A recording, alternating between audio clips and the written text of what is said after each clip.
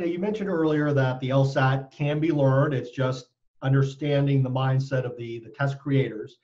So somebody buys a book, they, they do the practice exams, they, they get a course like yours. What what value does a one-on-one tutoring session do for people? I mean, so so they've done all the other stuff. How do you take them to that next level? So self-studying is great. It's risen in popularity in recent years with the rise of free and low-cost resources. But the problem is that you can't see your own blind spots.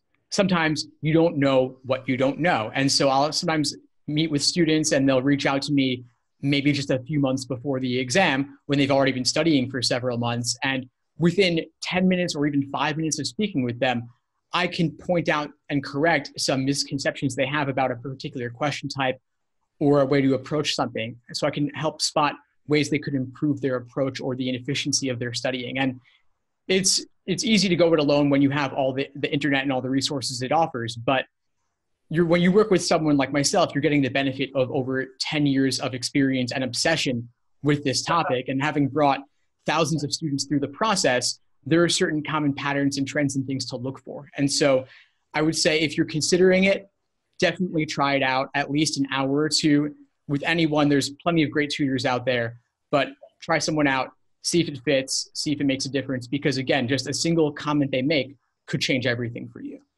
You know, it's funny, you know, you're, you're mentioning that story. So I was working with a student at Harvard Law School a few weeks ago, and um, bright kid, obviously got into Harvard, did well, did all those, you know, things to get him in.